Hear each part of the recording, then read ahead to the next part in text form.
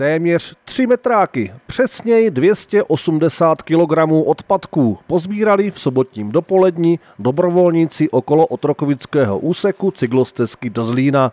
Všechen nepořádek putoval do připravených pytlů, které pak odvezli pracovníci technických služeb Otrokovice. Jsem určitě rád, že přišli občané Otrokovic, eh, udělali jsme kus postivé práce, pozbírali jsme spoustu odpadů. Proti Loňsku je poznat, je poznat, že toho odpadu je daleko méně, takže je dobře, že lidi si všímají té čistoty a že určitě jim to trošku trapné odhodit eh, ty flašku od pití tady na kolem cyklostezky. Eh, myslím si, že na druhou stranu to zapojení těch občanů by mohlo být větší, protože je to pro nás, děláme to pro sebe. Já určitě musím i poděkovat eh, lidem všem, kteří se dneska toho zúčastnili, i přes to počasí, které není ideální.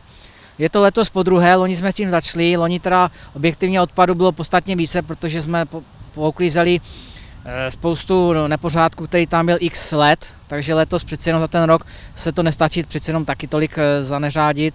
Takže já to hodnotím kladně, určitě eh, to můžeme zopakovat třeba i na podzim, možná jinou cyklostezku třeba na Pajedla.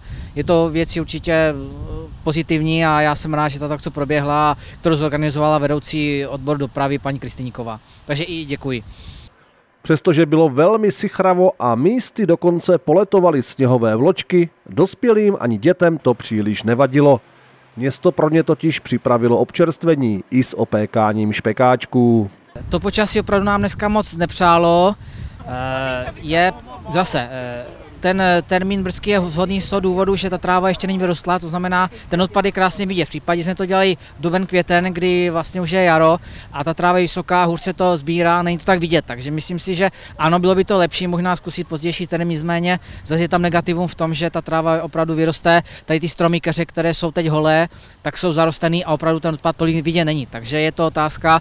Na druhou stranu to příkoří, máme tady vzadu Eh, opékáme špekáčky, máme tam něco k pití, sladkosti pro děti, chlapi přinesli něco na zahřátí, takže můžeme se zahřát i takhle.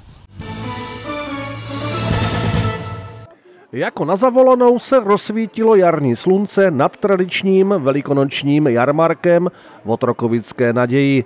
A že počasí přálo, dokázali také desítky návštěvníků, které zaplnili areál naděje počasí nám přeje, tak bychom rádi přivítali eh, jaro a jsme rádi, že sem přišli sousedé na kus řečí, na kávu, na něco dobrého k zakousnutí.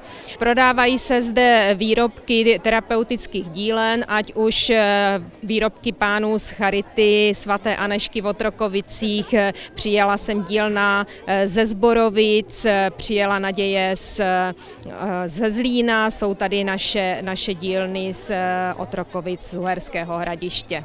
Návštěvníci si můžou zakoupit eh, výrobky, jarní dekorace, máme tady pletené košíky, různé označení bylinek, začíná jaro, takže můžou si koupit na záhonky, máme nové výrobky, eh, věnečky, eh, tašky, co kdo si vzpomene.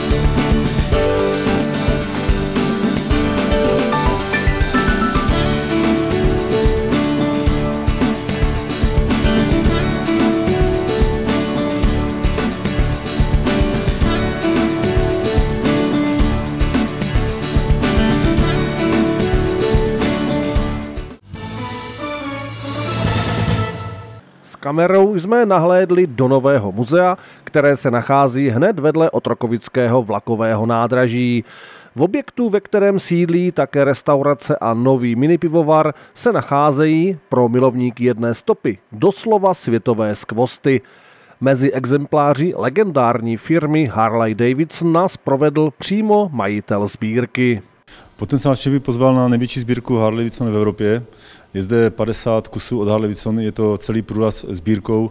Jsou zde sněžné skútry, golfové vozíky, minibajky i lodě, takže je tady kompletní sbírka toho, nebo kompletní sortiment toho, co Harley Davidson vyráběl.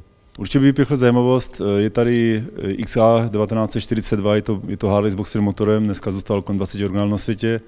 Je tady Knuckle Heat z roku 1939 z českou historií, my jsme 6 majitele, je to motorka úplně s plnou historií.